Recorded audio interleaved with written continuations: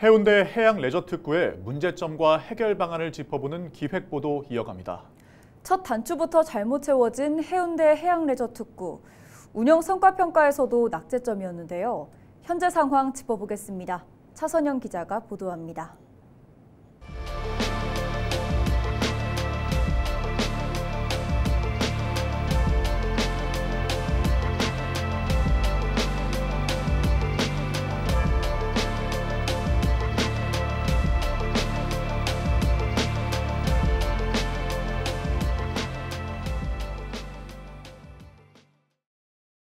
올여름 해운대 해양 레저 특구 사업장이 운영되는 곳은 네 곳 중 두 곳, 나머지 두 곳은 도심 흉물로 전락한 모습입니다.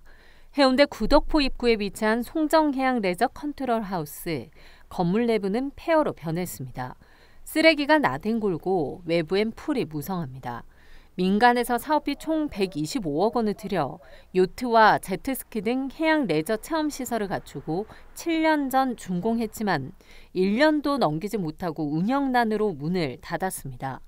수영 강변에 위치한 센텀 마리나 파크도 사정은 마찬가지입니다. 2015년 수상 레저 사업을 시작했지만 불과 1년 만에 경영난으로 휴업해 도심 휴식 공간 내 오게티로 남아있는 상태입니다. 동백섬 주변 해양 레저 기진 더베이 101을 제외하곤 해양 레저 특화 사업장 모두 1년도 제대로 운영되지 못한 겁니다.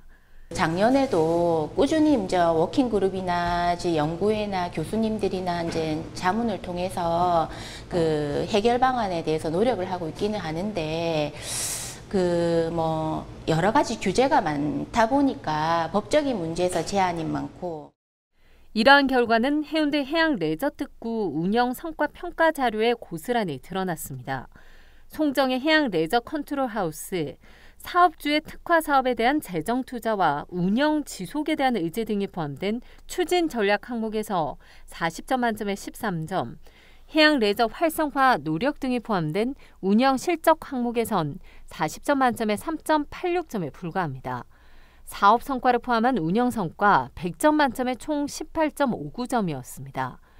송정 해수욕장 해양 레저 거점 운영 성과를 봤더니 추진 전략은 18.61점, 운영 실적은 18.01점, 사업 성과 8점 등 운영 성과는 100점 만점에 44.62점이었습니다. 동백섬 인근의 더베이 101은 추진 전략과 운영 실적, 사업 성과 각각 27.91점, 26.27점, 12.57점을 받았습니다. 100점 만점에 66.75점으로 그나마 상황이 낮습니다. 수영 강변 계류장이 위치한 센텀 마리나파크 추진 전략 40점 만점에 16.27점, 운영 실적은 6.8점, 사업 성과 3.93점에 불과해 총 100점 만점에 27점이었습니다. 사실상 모두 낙제점입니다. 문제는 해운대 해양 레저 특구 사업 2039년까지 지속된다는 점입니다. 지금이라도 활성화를 위한 해답을 찾지 못한다면 해운대 관광 거점에 앞으로 15년간 흉물로 자리 잡고 있을 수도 있다는 이야기입니다. 일단 올해 운영되지 못한 두 곳 모두 내년에는 문을 열 계획이라고 밝혔습니다. 부당 같은 경우는 지금 머무는 컨텐츠가 없거든요. 상 레저뿐만이 아니라 있는 그 공간도 재밌는 기획들로 해서 계속 체인지되는 어떤 그런 공간으로 저희가 만들려고 지금 의논 중에 음. 있거든요.